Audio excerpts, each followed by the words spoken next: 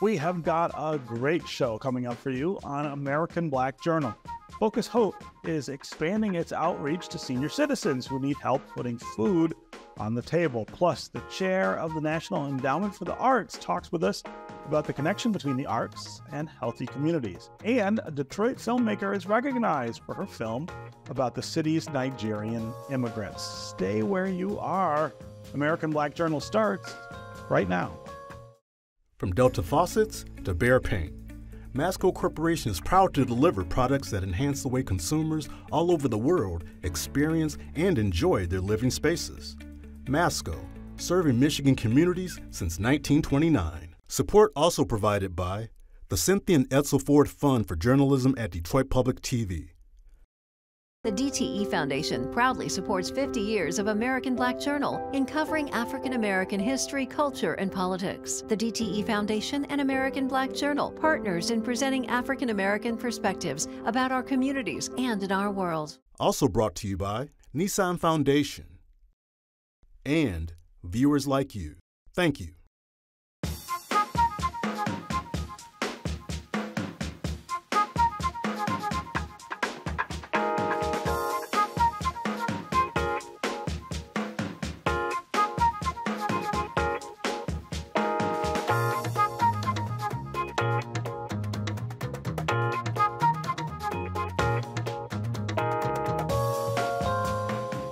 Welcome to American Black Journal. I'm Stephen Henderson. The civil and human rights organization Focus Hope is making it possible for more senior citizens in Southeast Michigan to receive much needed food assistance. The nonprofit's Food for Seniors program has expanded to include 43 new sites in cities all throughout Southeast Michigan. Seniors can register at these locations to receive monthly food boxes, which contain staples like milk and cereal and canned goods. I got all of the details from Focus Hope's director of the food program, Frank Kubik.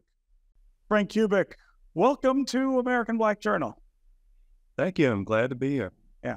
So uh, tell me about Food for Seniors, which is the, this program that you're expanding, but also tell me about uh, the current climate for hunger and and food uh, food scarcity uh, right now and and how different it looks. I, I, imagine that that has a lot to do with the decision to make this available to more people in, in the metro area. Exactly. Well, we're the we have the Commodity Supplemental Food Program here at Focus Hope. It's a national program funded by USDA. It's for low-income seniors who are 60 and over and have a monthly income of 1580 a month or less. So you get a nutritionally balanced food box. The nutritionists at USDA put the package together, canned fruit, meat, juice, vegetables, cheese, pasta, peanut butter, beans, etc. It's meant to supplement what you already have. And what we're seeing with a lot of seniors is, unfortunately, this is not a supplement. It goes a lot. It's more of a almost a majority of the food that they have each month. So it's, it's difficult for seniors. And with the rising number of seniors who are food insecure, Mm-hmm. You've got, you know, 7%, 7.1 million, I'm sorry, of seniors in this country are food insecure. These seniors have worked all their lives. They've contributed so much to this country to make it the country it is today. But many of them worked at low paying jobs or jobs that didn't record their earnings. So when you look at a Social Security statement each month, like they really don't get a true value of what they put into this country. And here in your golden years, you shouldn't have to worry about where your next meal is coming from. So programs like this that are senior only programs to a USDA, they were geared to the seniors who needed a, boost in their, their food, their balanced food, their nutritionally balanced food to keep them healthy. This is a great program for them. What we're seeing with the need is this growing, and this is again the fastest rising group of hungry in this country, is that there's so many seniors are isolated and homebound. Mm-hmm. And the challenge we have is reaching those seniors. And I think that challenge is the same whether it's in Detroit, Los Angeles, New York, Dallas, Alaska. I was at a national conference and we heard about Alaska and some of the challenges they faced. And I think, man, I have to worry about getting from one side of town to the other, and they cross rivers to get mm-hmm. food to seniors. So the program operators are really dedicated to get this food to seniors. So it's important now. We see the cost of everything going up. I went and got my oil changed. I was shocked at what that, that was the last time. Uh, yeah. Look, you're living on a fixed income You've got your utility costs, putting gas in your car if you have a car, paying for other food. Again, this is a supplemental amount of food. It's not meant to carry you through the whole month.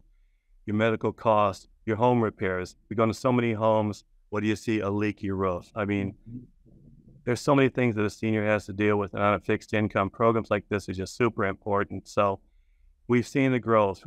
This program started as a moms and kids program in USDA. Focus Hope got involved in 1971 when it was a moms and kids program. And Eleanor Josaitis, one of our co-founders, would tell this story that she got a phone call one day from someone and someone who needed food. And so she's bragging about this great program. Well, Focus Hope has this food and come to Focus Hope. And she said the senior yelled and screamed at her, I'm 79 years old. Do I have to get pregnant to get food? And so she said, you know, that kind of woke her up to the, the, the plight of the seniors and led Focus Hope to take the lead to become seniors program for CSFP yeah. and do lobbying and advocating for it. So I think as we've seen a program now evolve to a seniors only program in the 2014 Farm Bill, the need is out there and it's growing. So programs like this are really important to get that food to those seniors. Yeah. Uh, 43 new sites uh, throughout Metro Detroit, and we should stress it's Metro Detroit. Um, people think of poverty and they almost always think of Detroit, and that's true. We do have an acute problem with poverty and, and food insecurity and housing insecurity and all those things here. But that's true increasingly in other communities and to an even greater extent than than in the past. Yeah, and I think what we've seen, we cover Wayne, Oakland, Macomb, Washtenaw counties there's not a sign that says end end of hunger when you cross eight mile. Mm-hmm. That need extends beyond eight mile. I think 10% of the seniors in our metropolitan area are food insecure. So we have to get out to those seniors, as we mentioned, with the limited resources and, and, and, and just the fact it's hard for seniors to get out. We have to get to Rochester. I can't have a site here on Oakman Boulevard and say, okay, from Ann Arbor, come and get it. Mount Clemens, here we are. It doesn't work that way. So it's up to us to make sure that we get on those communities so now we're reaching out to, we're in Utica, we're in Rochester, Ann Arbor, Roseville, Ypsilanti. Our whole service area, we're getting more sites. So when you hear about the additional sites that we've added to our program, we're looking to even add more because what we don't want is someone not to be able to get the food that they need. So yeah. it's on us to make sure we get that food to them. Yeah. Yeah. It's also a reminder, I think, you know, during the pandemic, I think we were all made much more aware of the needs that exist, and they were made worse during the pandemic. And I think people really stepped up in ways that they hadn't before to try to make sure that folks could get through. Now we're at least talking about being in post pandemic, but those needs don't really go away for everyone. And and and uh, the awareness that the pandemic raised for all of us, I think we, we got to maintain that. We have to stay in that space and understand uh, that there are folks who um, who all the time uh, are going to need help. Yeah, and it, it pandemic brought it home. I, I, think to a lot of us, and there is no normal anymore. Mm-hmm. Uh, the, the normal is not to be normal, I mm-hmm. suppose. Mm-hmm. And what we had to do to adapt to the uh, pandemic, in terms of even serving the seniors, we went from a system where you would come into our sites and pick up food to one where you pull up in front and open your trunk and we put it in there. And, and so the things that happened then have not gone away. The seniors have not become instantly, hungry issue has gone away. Just like around the holidays when you see an uptick in, in folks that are volunteering and helping. And, and, and we appreciate that. It, it means so much, especially that time of year. But it doesn't stop on January 1st. Mm-hmm. And so now that we're out of the pandemic, hunger hasn't stopped. And I think the awareness it has created that people were stepping up and helping their neighbors and their friends and their communities and their families. We tell folks, look at those who are closest to you, because sometimes we don't see it, that the people that are closest to us are the ones that are most in need. Mm-hmm. So that hasn't gone away, but the awareness that the pandemic did bring to the issue of hunger, we want to make sure that people don't forget about that and keep doing the things they need to do so we can take care of our seniors. Okay, uh, Frank Kubik, uh, Focus Hope, uh, congratulations on expanding the program. And uh, thanks so much for being on American Black Journal with us. Thank you. Appreciate your help and your support. Thank you. The National Endowment for the Arts made history last year when Dr. Maria Rosario Jackson was appointed chair of the independent federal agency. She's the first African American and Mexican woman to lead the NEA. I sat down with her for a wide ranging conversation about her career and the importance of arts and culture in building healthy communities. So, uh, tell us what you are up to at the the NEA. Uh, really important post, really important institution in terms of. I feel like uh, you know, uh, uh, girding the arts maybe is the phrase that I would that I would say. Um, you know, making sure that this is uh, perpetuated and and made available, accessible to so many different uh, people and and to places where without the NEA uh, you might not have the same kind of awareness and access to to the fine arts. Well, certainly, um, accessibility is mm. is a really important part of what I'm committed to um, in this role as as leader of the organization. Um, there's a concept that I've been promoting that has to do with making the arts part of our everyday lived experience. Mm. Uh, and I talk about artful lives and our intention uh, to make sure that everyone in the country has an opportunity to have art in their lives. And it's an elastic notion from my perspective, which includes um, the things that people usually think about, which might be going to a museum or a concert or seeing a play. I think it also includes, though, everyday lived experience and practice in um, actively creating art at whatever level.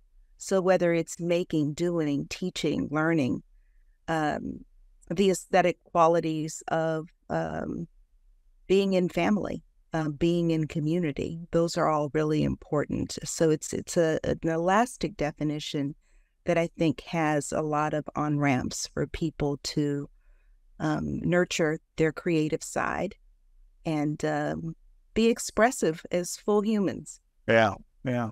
So I, when I think about my own uh, early exposure to the arts and things that made me love art and music and museums and all of the things you were just talking about, there are a couple of spaces that come to mind. Of course, school, uh, uh, after school, right? Uh, after school programming, which was uh, a really big deal when when when I was a kid in the latchkey era. Uh, um, I, and and I think of summer programming uh, through rec centers and other things that that you know my parents made sure I I participated in. And if you think of those two things or all of those things, uh, a lot a lot of them don't exist in the abundance that they did when when when I was uh, a kid. Some of them don't really exist at all, and the ones that are left are under real threat. I mean, we have a real struggle right here in the city of Detroit to make sure that the arts are part of the public school system. I mean, that that's not a given uh, anymore. I, I, imagine that from your chair, uh, some of what you're dealing with is just the the, the retraction of uh, opportunity, uh, the diminishment of that that opportunity for people to to become fans of of the arts in the way they used to. I think that there's um, I think that there the trends that you point to are are uh, on point in many places.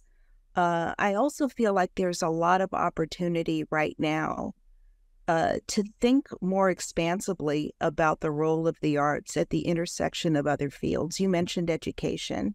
Mm-hmm. I certainly think about education. I also think about health mm-hmm. and community development and how the arts are imperative uh, to do well in any of those fields. I mean, I I personally think that the arts are often a precondition for so many of the things that we say we aspire to as a nation of opportunity and justice. Uh, we just can't achieve it without figuring out how to integrate arts, culture, and design into so many facets of our lives, so many different uh, areas of policy and practice.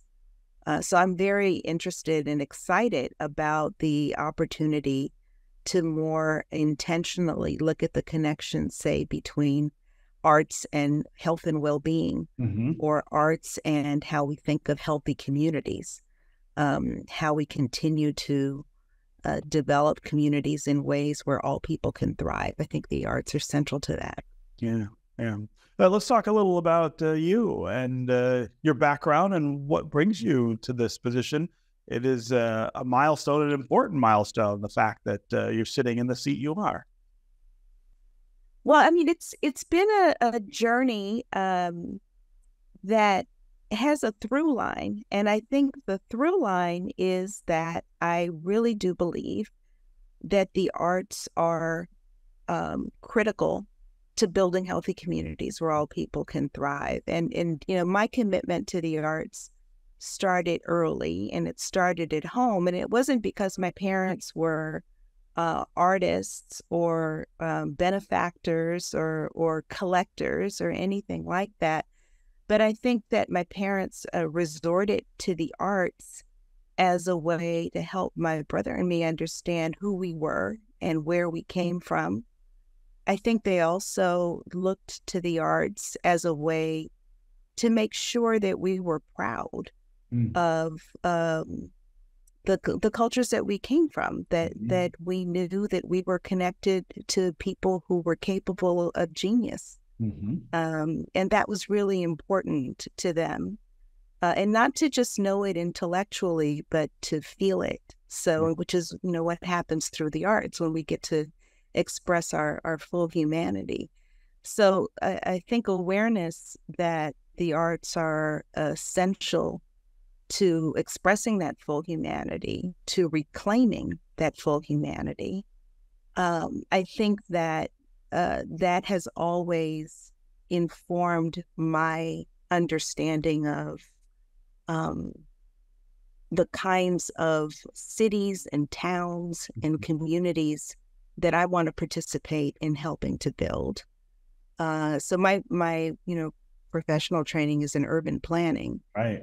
Right. But in in all of that, I don't see the arts as separate from that. I see it as essential and perhaps too often not considered um, enough, uh, but essential and uh, certainly inadequate without the inclusion of arts, culture, and design.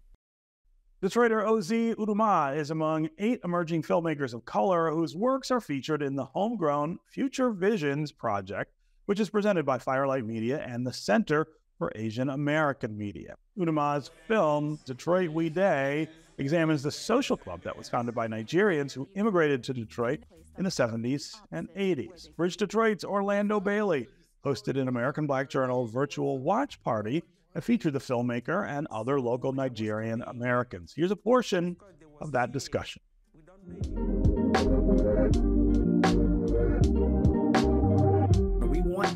Welcome you to the American Black Journal watch party for Detroit We Dey. How are you feeling after seeing this again? Of course, being the director, I've seen this film in so many different iterations. And so to get to this point, to share it out in the world, it's both like the warm fuzzies and also the nervousness of like of people seeing it because uh um it's it's coming from the heart deeply nostalgic. When mm-hmm. I look at those clips and those pictures, they take me to very specific times in my life, very specific events. I can look at clips of some of those parties and remember like my family would came maybe like 10 minutes later. So I'm like to be able to see us so deeply connected looking at these like throwback clips. Also, I'm curious about what didn't make the cut. Being Nigerian and being a Detroiter and like having that story encapsulated like so artistically and like yeah seeing people that i recognize from church growing up like it's just really beautiful. Loyalty is probably the one word that i think of right now. Uh, folks have asked me why are you raising your family in detroit? And if you understood how i feel about my family how i feel about the nigerians in detroit how i feel about the nigerians in michigan how i feel about the Detroit story as we get to have at least a small part of it. I, I can't see anything more meaningful than trying to connect back to what's giving you so much.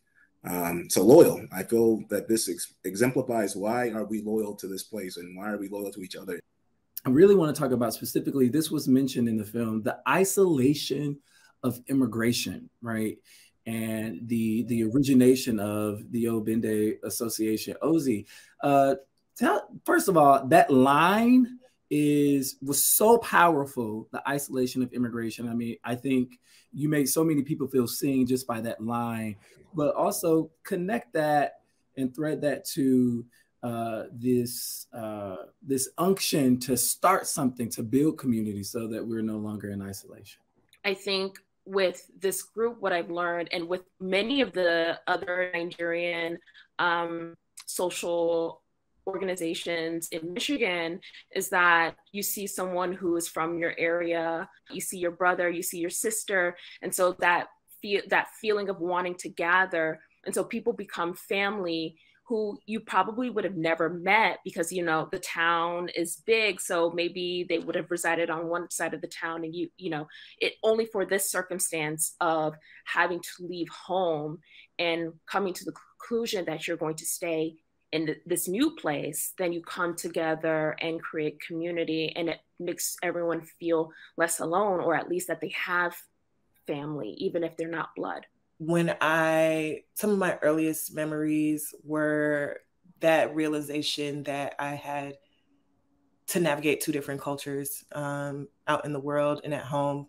I felt, I've always felt like a Detroiter, always felt like a Black person who is Nigerian. And I never saw those things as separate. When I was in school very young and we were learning about the uh, slave trade, it was just very clear to me that we are all connected, related, you know, together. Um, sometimes there are, you know, cultural values butt heads, you know, being young and like American or Americanized um, was something that I felt like wasn't always celebrated in my household because my parents they wanted us to speak language, they wanted us to you know be deeply invested in and like carry on the the legacy of the culture that their ancestors had instilled in them. I did as I got older understand there was an insecurity I think at the base of a lot of the Nigerians that are here this idea that you may lose what it is that you came here with. And then I think the feeling of if I don't pass this culture on to my children, what is it that I'm actually doing in this country? Is it this loss of connection that will never be brought back? Or is there a sense that I can do something, I can bring to bear um, an identity that, you know, bring, you know, that melts into, you know, the external that I can't control. I can't control that my children go to school. Indeed, that's what I can do, is what my father does, educate us as to what is the African American struggle? What is the African American struggle distinct from the Nigerian struggle? As the elders pass on, there's a Senegalese proverb that says, when an elder passes, a library has burned, right? So, yeah. what is the job of the griot? What is the job of the citizen, right?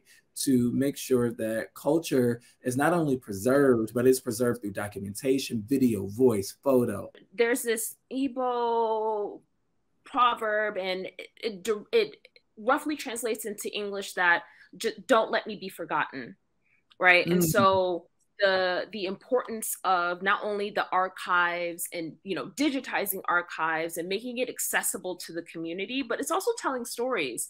You know building intergenerational conversations an actual community is intergenerational right? So it is sharing the story. It's, it's you know passing on the recipes you know all of the, all of these things. It, it like it is truly being in community with each other and that this ability to share. Naming is very, very important to me. Um, if you know anything about Nigerian cultures, there's so much in a name. Um, my grandfather's first name was Owenu, and he wanted everybody who came across him to know his name through his children. So he made it his last name. I have a daughter. My daughter has a Nigerian name. Being able to pass those names on and being able to have a story to go along with it. And I feel like that's a very good way to have the conversation and be able to be intentional about passing culture down. As an artist and vocalist and storyteller, storyteller generally, I think, you know, like Nina Simone said, it's our responsibility to reflect the times. And I think that, you know, in order to accurately reflect the times, you have to have a certain level of commitment to understanding the legacy of the people who made it possible for you to be here and also um, you know the the people who are in your artistic lineage uh, i think it's not just the Nigerian story or the American story or the Black American story. I think any one of us you know, where you come from, it's important to be intentional about what you think should be happening next. It's on your shoulders. You have a responsibility. And if you take it passively, those will be the results you live with. And what I would like for us to do, if, it, if you're in the arts, if you're in education, if you're in business, is to remember that a story needs to be told in your life about how you got to this point. Mm. However, you go about telling that story, that's on you. And Detroit We Dey is streaming on PBS. We're going to have a link to the film at AmericanBlackJournal.org. That's going to do it for us this week. You can find out more about our guests on our website and connect with us anytime on Facebook and on Twitter. Take care, and we'll see you next time.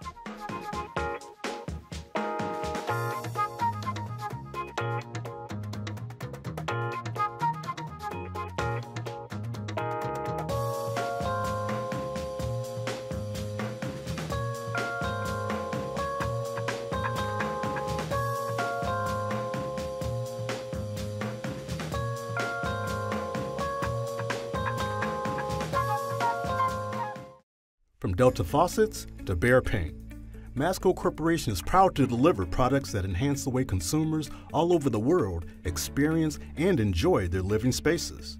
Masco, serving Michigan communities since 1929. Support also provided by the Cynthia and Edsel Ford Fund for Journalism at Detroit Public TV. The DTE Foundation proudly supports 50 years of American Black Journal in covering African American history, culture, and politics. The DTE Foundation and American Black Journal partners in presenting African American perspectives about our communities and in our world. Also brought to you by Nissan Foundation and viewers like you. Thank you.